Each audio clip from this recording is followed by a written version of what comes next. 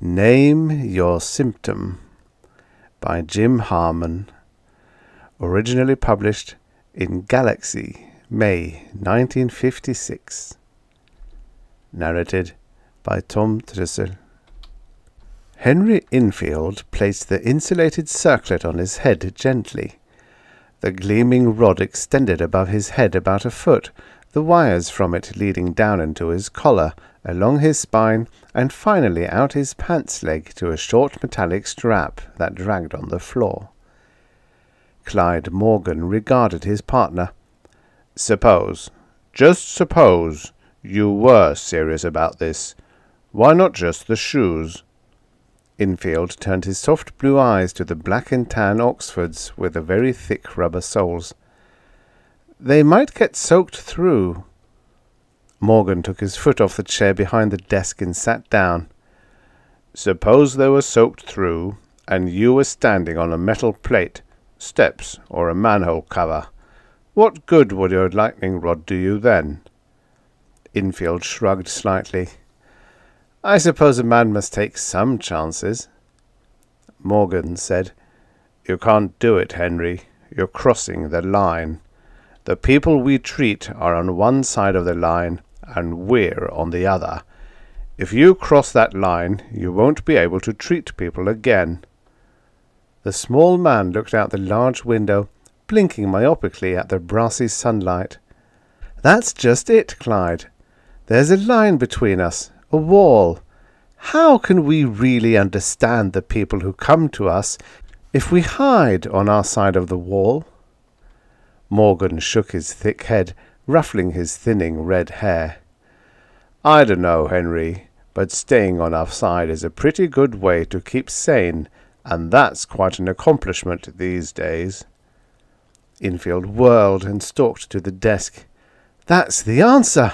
The whole world is going mad, and we are just sitting back watching it hike along. Do you know that what we are doing is really the most primitive medicine in the world? We're treating the symptoms and not the disease. One cannibal walking another with sleeping sickness doesn't cure anything. Eventually the savage dies, just as all those sick savages out there in the street will die unless we can cure the disease, not only the indications. Morgan shifted his ponderous weight uneasily. Now, Henry, it's no good to talk like that. We psychiatrists can't turn back the clock. There just aren't enough of us or enough time to give that old-fashioned therapy to all the sick people. Infield leaned on the desk and glared. I called myself a psychiatrist once, but now I know we're semi-mechanics, semi-engineers, semi-inventors, semi-lots of other things, but certainly not even semi-psychiatrists.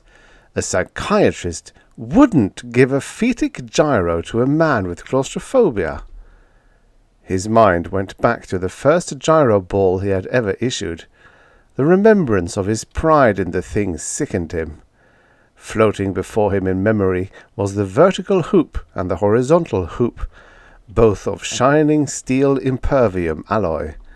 Transfixed in the twin circles was the face of the patient, slack with smiles and sweat but his memory was exaggerating the human element. The gyro actually passed over a man's shoulder, through his legs, under his arms. Any time he felt the walls creeping in to crush him, he could withdraw his head and limbs into the circle and feel safe. Steel impervium alloy could resist even a nuclear explosion. The phaetic gyro ball was worn day and night for life. The sickness overcame him. He sat down on Morgan's desk. That's just one thing, the gyro ball. There are so many others, so many. Morgan smiled. You know, Henry, not all of our cures are so, so. Not all are like that. Those cures for mother complexes aren't even obvious. If anybody does see that button in a patient's ear, it looks like a hearing aid. Yet for a nominal sum, the patient is equipped to hear the soothing recorded voice of his mother saying, It's all right, everything's all right, Mummy loves you, it's all right. But is everything all right? Infield asked intensely. Suppose the patient is driving over 100 on an icy road. He thinks about slowing down, but there's the voice in his ear. Or suppose he's walking down a railroad track and hears a train whistle, if he can hear anything over that verbal pablum gushing in his ear.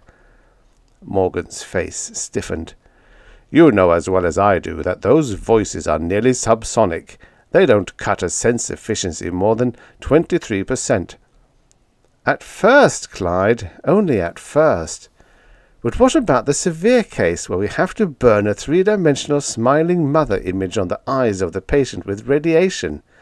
With that image over everything he sees, and with that insidious voice drumming in his head night and day, do you mean to say that man's senses will only be impaired 23%?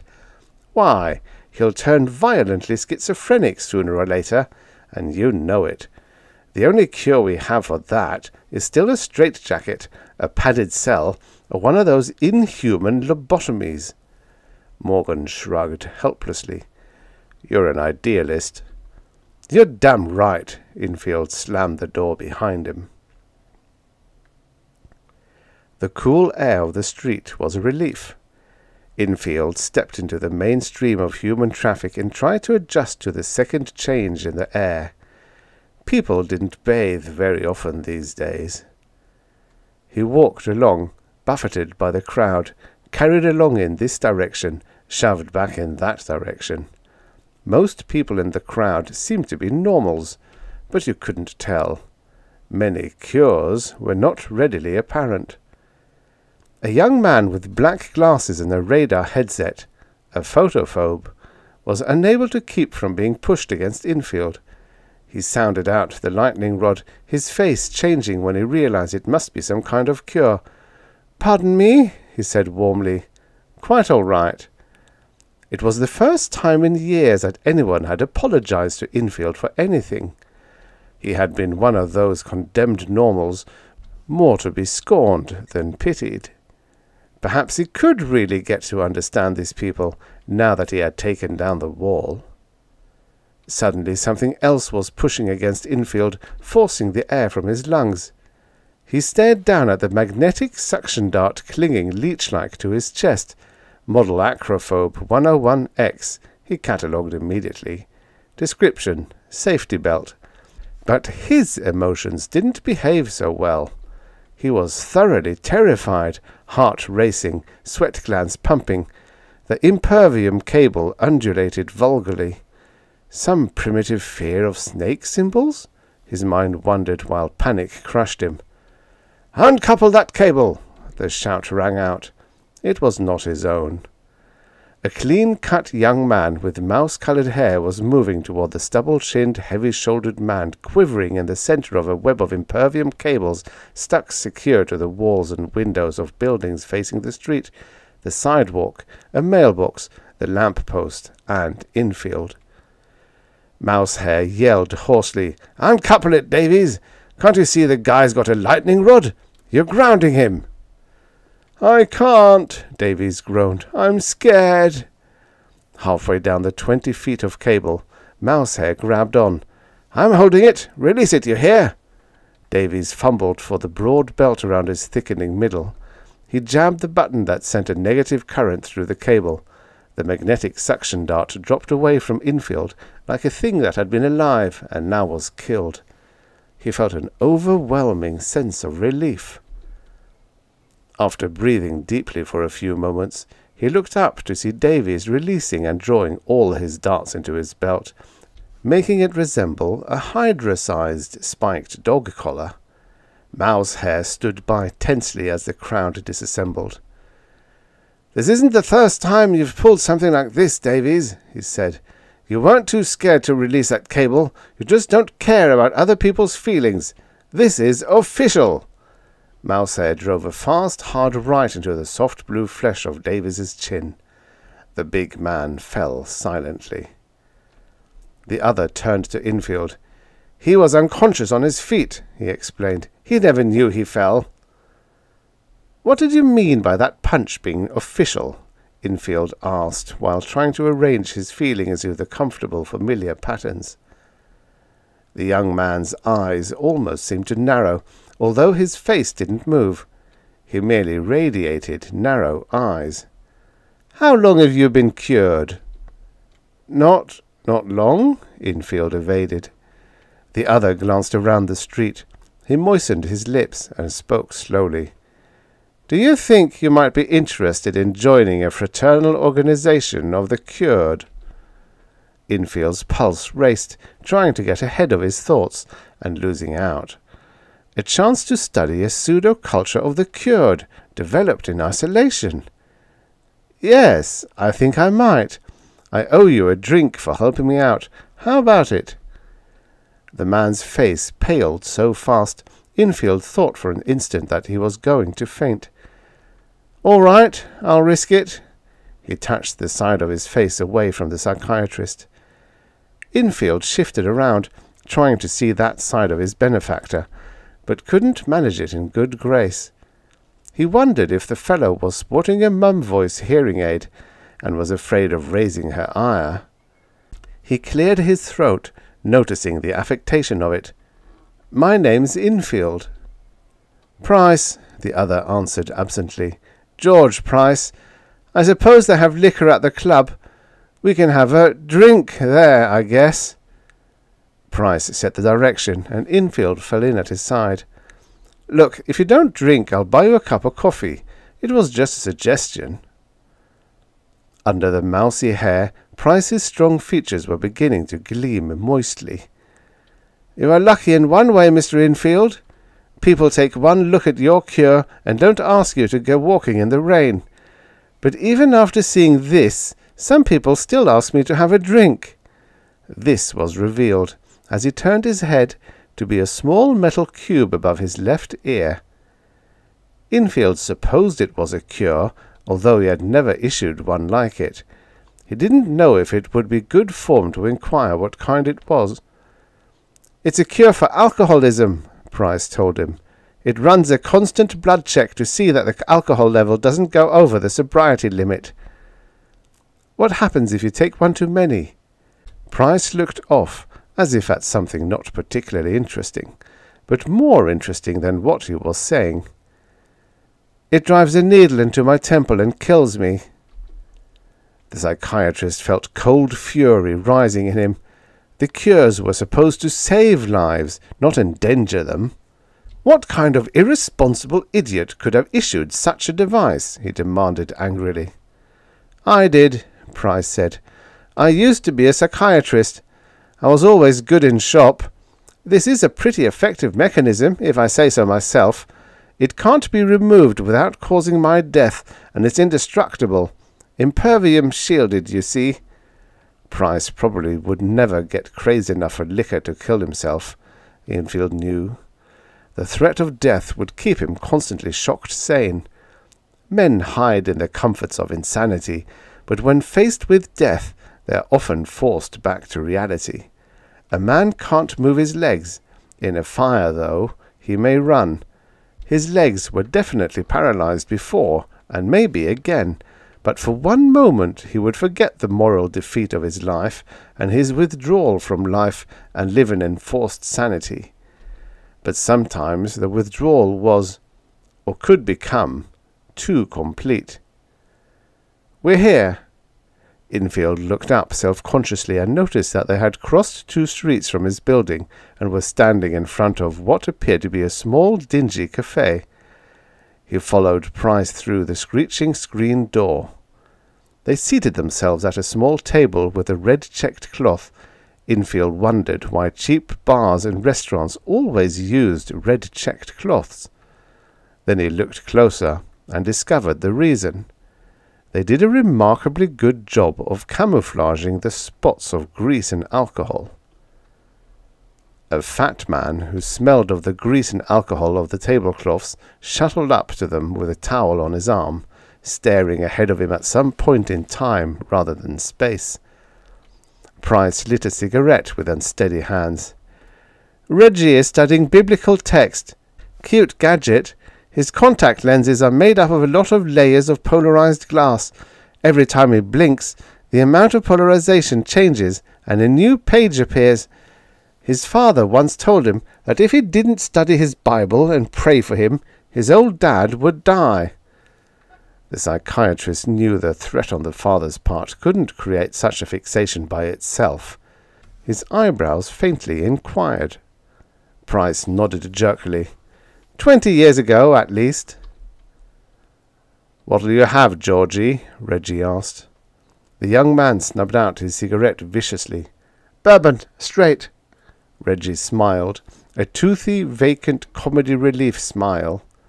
Fine, the good book says a little wine is good for a man, or something like that.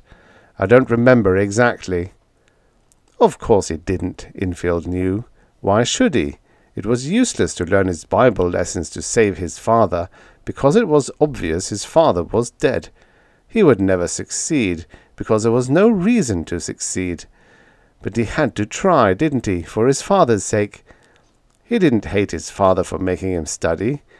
He didn't want him to die. He had to prove that. Infield sighed. At least this device kept the man on his feet, doing some kind of useful work instead of rotting in a padded cell with a probably imaginary Bible. A man could cut his wrists with the edge of a sheet of paper if he tried long enough, so of course the Bible would be imaginary. But Georgie, the waiter complained, you know you won't drink it. You ask me to bring you drinks, and then you just look at them. Boy, do you look funny when you're looking at drinks. Honest, Georgie, I want to laugh when I think of the way you look at a glass with a drink in it. He did laugh. Price fumbled with the cigarette stub in the black iron ashtray, examining it with the skill of scientific observation. Mr. Infield is buying me the drink, and that makes it different. Reggie went away. Price kept dissecting the tobacco and paper. Infield cleared his throat and again reminded himself against such obvious affectations. You were telling me about some organization of the cured, he said as a reminder. Price looked up, no longer interested in the relic of a cigarette. He was suddenly intensely interested and intensely observant of the rest of the cafe. Was I? I was? Well, suppose you tell me something. What do you really think of the incompletes? The psychiatrist felt his face frown. Who? I forgot. You haven't been one of us long. The incompletes is a truer name for the so-called normals. Have you ever thought of just how dangerous these people are, Mr. Infield? Frankly, no, Infield said, realizing it was not the right thing to say but tiring of constant pretense. You don't understand. Everyone has some little phobia or fixation. Maybe everyone didn't have one once, but after being told they did have them for generations, everyone who didn't have one developed a defense mechanism and an aberration so they would be normal. If that phobia isn't brought to the surface and cured, it may arise any time and endanger other people. The only safe good sound citizens are cured. Those lacking cures, the incompletes, must be dealt with. Infield's throat went dry. And you're the one to deal with them? It's my destiny, Price quickly added. And yours too, of course. Infield nodded. Price was a demagogue, young, handsome, dynamic, likable, impassioned with his cause, and convinced that it was his divine destiny. He was a psychopathic egotist and a dangerous man.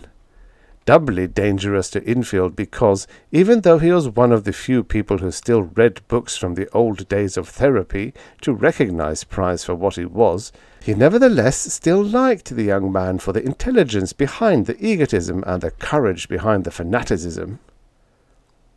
How are we going to deal with the incompletes? Infield asked.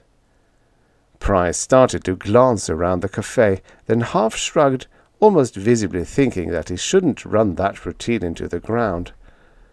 We'll cure them whether they want to be cured or not, for their own good. Infield felt cold inside.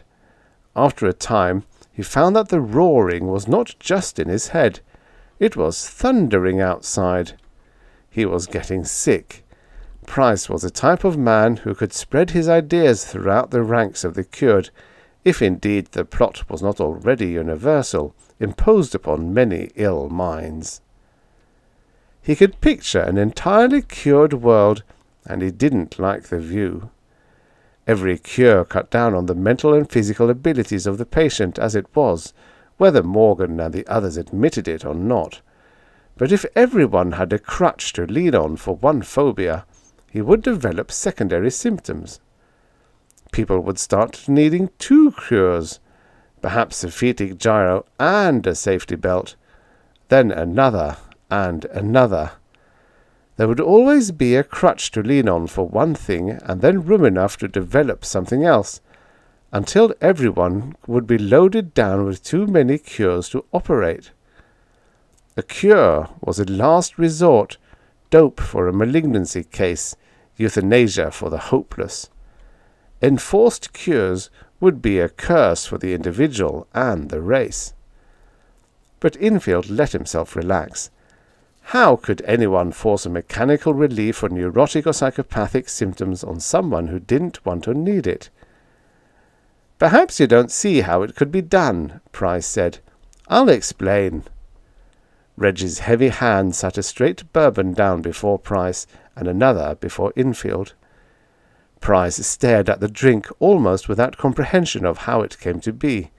He started to sweat. George, drink it. The voice belonged to a young woman, a blonde girl with pink skin and suave draped clothes.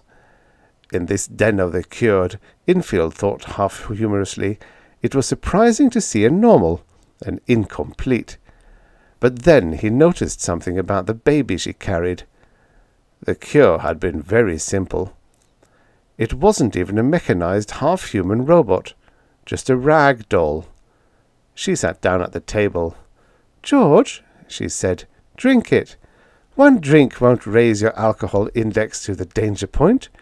You've got to get over this fear of even the sight or smell of liquor. The girl turned to Infield. You're one of us, but you're new, so you don't know about George. Maybe you can help if you do. It's all silly. He's not an alcoholic. He didn't need to put that cure on his head. It's just an excuse for not drinking. All of this is just because a while back something happened to the baby here. She adjusted the doll's blanket. When he was drinking. Just drinking, not drunk. I don't remember what happened to the baby. It wasn't important but George has been brooding about it ever since.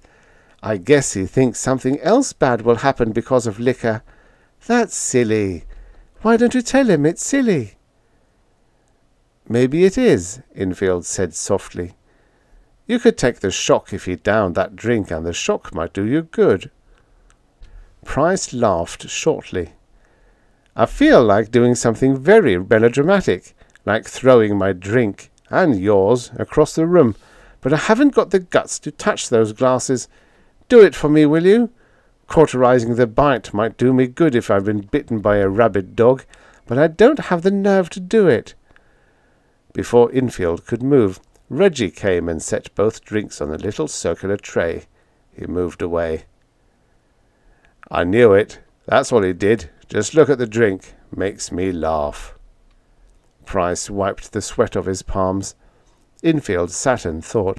Mrs. Price cooed to the rag doll, unmindful of either of them now. You were explaining, the psychiatrist said. You were going to tell me how you were going to cure the incompletes. I said we were going to do it. Actually, you will play a greater part than I, Dr. Infield. The psychiatrist sat rigidly. You didn't think you could give me your right name in front of your own office building and that I wouldn't recognize you. I know some psychiatrists are sensitive about wearing cures themselves, but it is a mark of honor of the completely sane man. You should be proud of your cure and eager to cure others. Very eager. Just what do you mean? He already suspected Price's meaning. Price leaned forward. There is one phobia that is so widespread a cure is not even thought of. Hypochondria. Hundreds of people come to your office for a cure, and you turn them away. Suppose you and the other cured psychiatrists give everybody who comes to you a cure. Infield gestured vaguely.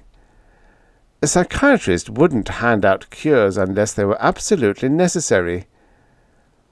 You'll feel differently after you've been cured for a while yourself. Other psychiatrists have. Before Infield could speak, a stubble-faced, barrel-chested man moved past the table. He wore a safety belt.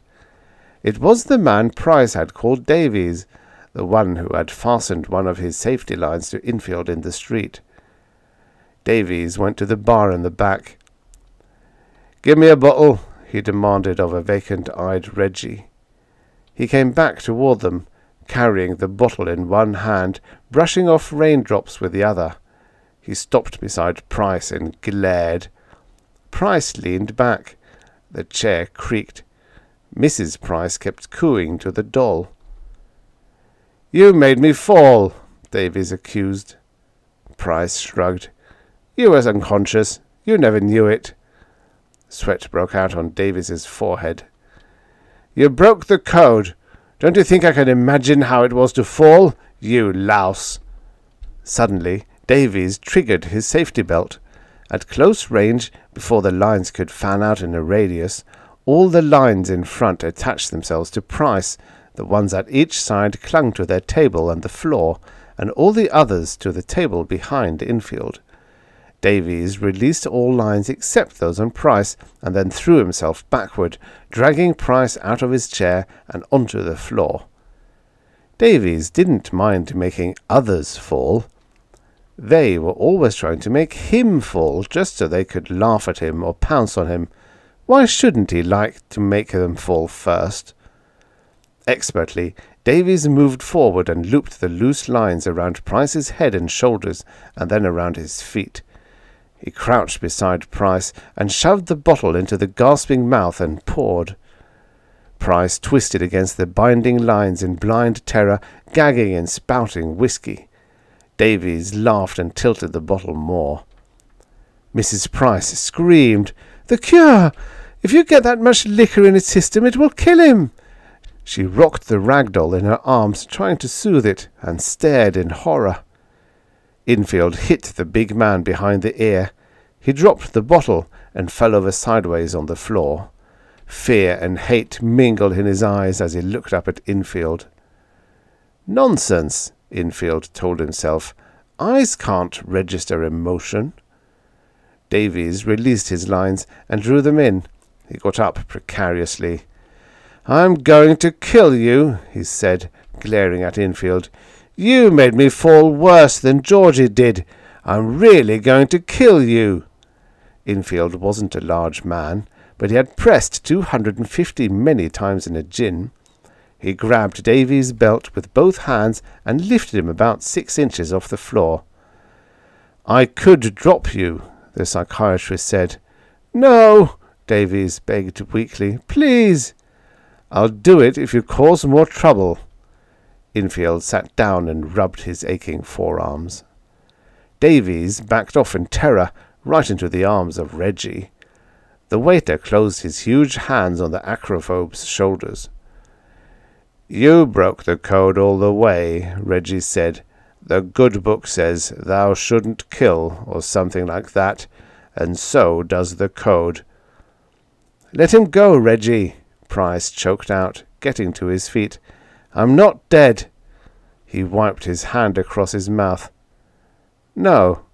No, you aren't. Infield felt an excitement pounding through him, same as when he had diagnosed his first case. No, better than that. That taste of liquor didn't kill you, Price. Nothing terrible happened. You could find some way to get rid of that cure. Price stared at him as if he were a padded cell case. That's different. I'd be a hopeless drunk without the cure. Beside, no one ever gets rid of a cure. They were all looking at Infield. Somehow, he felt this represented a critical point in history. It was up to him which turn the world took, the world as represented by these four cured people. I'm afraid I'm for less cures instead of more Price. Look, if I can show you that someone can discard a cure, would you get rid of that, if I may use the word, monstrous thing on your head? Price grinned. Infield didn't recognize its smugness at the time. I'll show you. He took off the circlet with the lightning rod and yanked at the wire running down into his collar. The new old excitement within was running high. He felt the wire snap and come up easily. He threw the cure on the floor. Now, he said, I am going out in that rainstorm. There's thunder and lightning out there. I'm afraid, but I can get along without a cure, and so can you. You can't! Nobody can! Price screamed after him. He turned to the others. If he reveals us, the cause is lost. We've got to stop him for good. We've got to go after him. It's slippery, Davies whimpered. I might fall. Mrs. Price cuddled her rag doll. I can't leave the baby, and she mustn't get wet. Well, there's no liquor out there, and you can study your text in the lightning flashes, Reggie. Come on running down the streets that were tunnels of shining tar, running into the knifing ice bristles of the rain, Henry Infield realized that he was very frightened of the lightning. There is no action without a reason. He knew from the old neglected books. He had a latent fear of lightning when he chose the lightning rod cure. He could have picked a safety belt or phaetic gyro just as well. He sneezed he was soaked through, but he kept on running. He didn't know what Price and Reggie planned to do when they caught him. He slipped and fell. He would soon find out what they wanted. The excitement was all gone now, and had left an empty space into which fear rushed. Reggie said, We shall make a sacrifice. Infield looked up and saw the lightning reflected on the blade of a thin knife. Infield reached toward it more in fascination than fear. He managed to get all his fingers around two of Reggie's. He jerked, and the knife fell into Infield's palm. The psychiatrist pulled himself erect by holding to Reggie's arm. Staggering to his feet, he remembered what he must do and slashed at the waiter's head. A gash streaked across the man's brow, and blood poured into his eyes. He screamed, I can't see the words. It was his problem. Infield usually solved other people's problems, but now he ran away. He couldn't even solve his own. Infield realized that he had gone mad as he held the thin blade high overhead, but he did need some kind of lightning rod. Price, who was right behind him, gaining, had been right. No one could discard a cure, he watched the lightning play its light on the blade of his cure, and he knew that Price was going to kill him in the next moment. He was wrong. The lightning hit him first. Reggie squinted under the bandage at the lettering on the door that said Infield and Morgan, and opened the door. He ran across the room to the man sitting at the desk, reading by the swivel light. Mr. Morgan, your partner, Mr. Infield, he. Just a moment. Morgan switched on the room lights. What were you saying? Mr. Infield went out without his cure in a storm and was struck by lightning. We took him to the morgue. He must have been crazy to go out without his cure. Morgan stared into his bright desk light without blinking. This is quite a shock to me. Would you mind leaving? I'll come over to your place and you can tell me about it later. Reggie went out. Yes, sir. He was struck by lightning, struck dead. He must have been crazy to leave his cure. The door closed. Morgan exhaled. Poor Infield. But it wasn't the lightning that killed him, of course. Morgan adjusted the soundproofing plugs in his ears, thinking that you did have to have quite a bit of light to read lips. The thunder, naturally, was what had killed Infield. Loud noise, any noise, That would do it every time.